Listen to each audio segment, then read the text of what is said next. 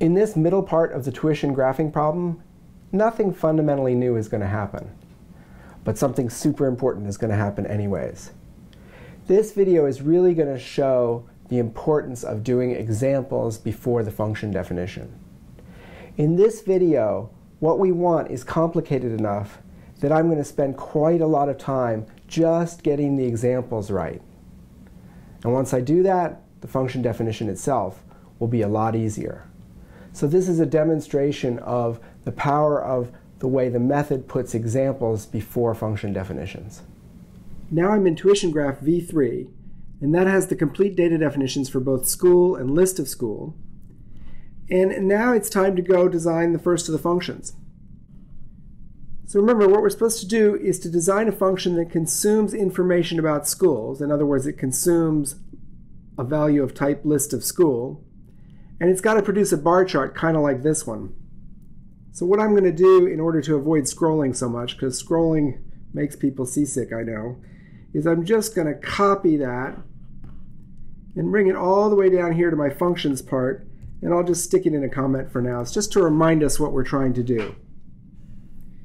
So let's see, we're designing a function. It consumes list of school, and it's going to produce an image like that. So that's what that has to do. And let's see, produce bar chart showing names and tuitions of the consumed schools. Let's do a stub, define, we'll call it chart, and it consumes a list of school and what I use for the stub for functions that produce image is this. White. There we go. Great, the stub is well formed. Now let's try to do some examples. Well, it's a function operating on a list. It's a function operating on a self-referential data definition, so the base case test should be first. So what are you supposed to produce if I hand you an empty list of schools? Well, you've got to produce an image. So I'm going to produce this same dummy value that the stub happens to produce. And that'll be the base case result. Let's do another example. Let's say check expect. Now the rule is too long, so let's go ahead and do one that's too long. Check expect chart you know what? Let's do one that's one long first. It's tempting to do the two long one, but let's do the one long one first. It'll be simpler. Chart, cons, and now we need some school. Make school. You can use any name you want. We'll just call it S1 for now because it'll be simple. Make a school called S1 at which the tuition is, I don't know, 9.99. Okay? Let's not make it 999. Let's make it some nice more round number than that, like 800. Just keeping things easy to work with here. Easy, not cute. So if I've got to chart that, then what do I want to see? Hmm. Well, I know that the base case result is this.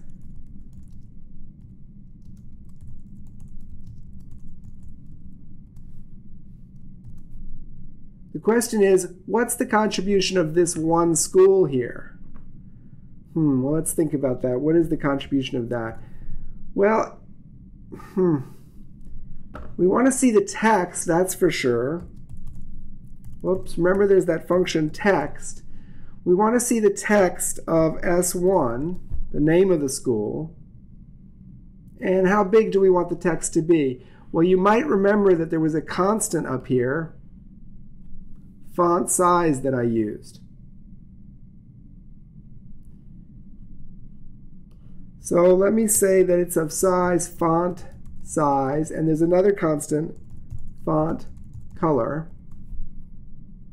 So that's going to get me the name S1, but let's see here. That's going to get it to me horizontally. and I want this to be vertically. So I need to rotate that. So let me rotate it. I need to rotate it that way. I can never remember which way the rotation is. I'll say minus 90. Let's see, that gets me part of it. That gets me just the text. And I've got to put them all next to each other so it seems like there's a beside here. Now let me show you something. I know I'm not done yet, but I'm going to run this anyways. That first test passed. This test failed because rotate expects an angle in degrees as its first argument. Oh, I've got the arguments in the wrong order. So I'll put this over here. What I wanted to show you there is as, as examples become more complicated, and especially once they involve images, you can go ahead and run them even before they're complete, just to see if the part you have makes sense.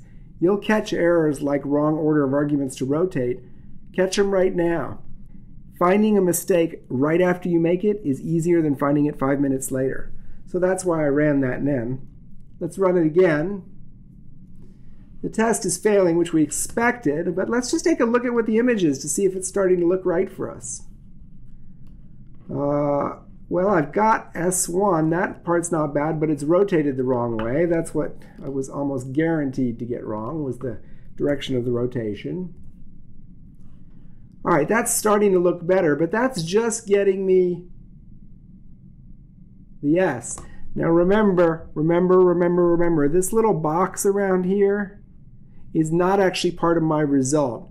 This box is put here by the test window. See how the test window puts a box there and a box there around the base result? That box is not actually part of my result. So there's something missing here. One is that I want that color bar, and the other is that I want that box. Let's see. Let's try to make the color bar. Hmm. I see this is putting that next to that. It seems like what I also need is to put the color bar, so that's going to be something like rectangle. And how wide is it? Well, I have a constant for that. Bar width. Bar width. And it's going to be some fraction of 800. Remember I have that thing called y scale? What I'm going to do is I'm going to multiply 800 times the y scale. That gets me the bar height. And then there's the bar color. And I want that to be solid. So now I've got the text and the bar, but I need to line those up.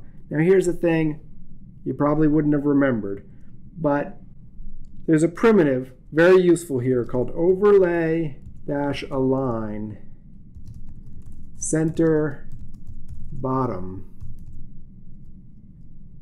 And that's going to put that color bar and that text lined up, I think, nicely. Let's try it. Rectangle expects a mode as a third argument. Oh, I've got them in the wrong order here.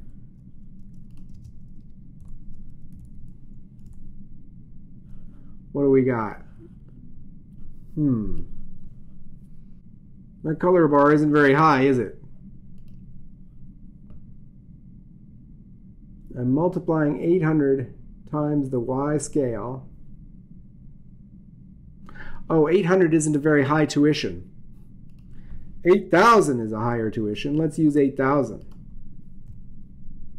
Try that. Now we're almost there. This is almost like what we have here, except there's no black box around the color bar. So let me add a black box too.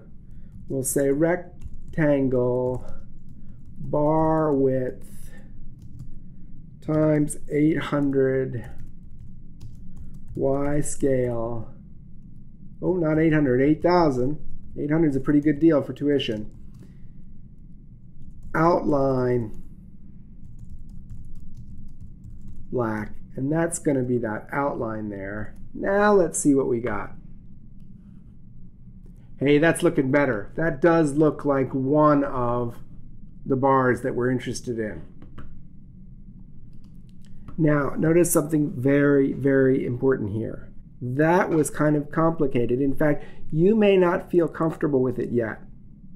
And if you don't feel comfortable with it, what I would do is stop the video right here and replay it. Let me, let me read it through first and then replay it.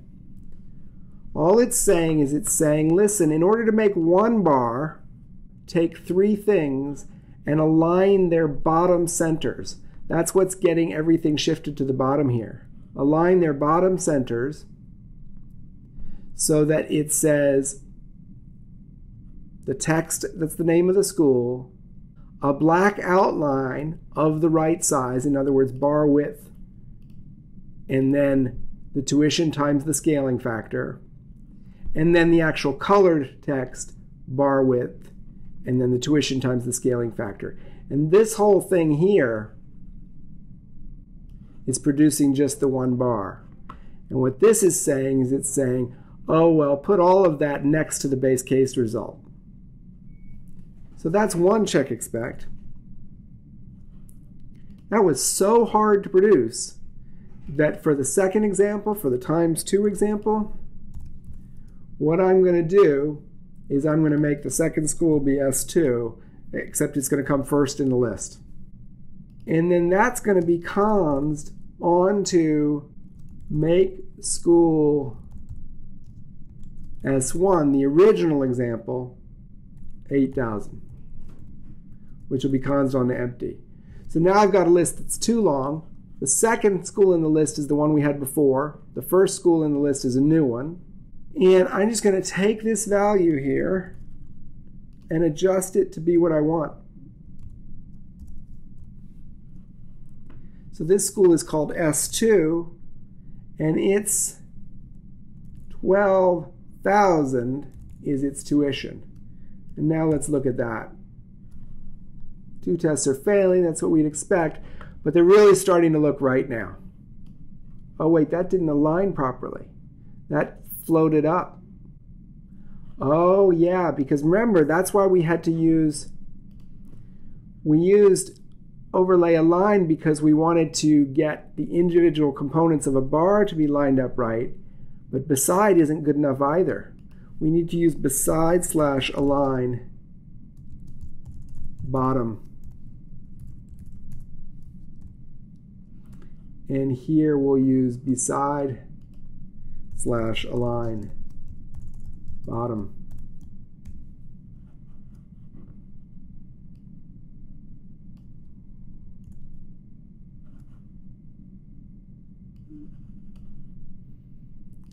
Now it's looking better. In previous weeks, people sometimes were like, ah, I don't understand why we do the examples before we do the function. Here's why we do the examples before we do the function right here. This problem is hard enough that figuring out specific examples takes time. We got to figure out how we want to draw it. Gee, we didn't use the right drawing function. Gee, we got the wrong order of arguments to this function. There's a whole bunch of stuff we had to figure out for the specific examples. Trying to write the general purpose function is always harder than writing a specific example. So if you're working on a problem where the specific examples are hard, it's just crazy to try to write the general purpose function first. The whole idea of this doing the examples first method is do the simplest things first because in hard problems, even the simplest things aren't that simple. So here's why we're doing the examples first, is these examples are a little bit complicated. The examples force us to figure out what it is we really want exactly how we want things to line up, exactly how we want things to look, what it is we really want. And once we know what we really want, coding the function definition is a lot easier.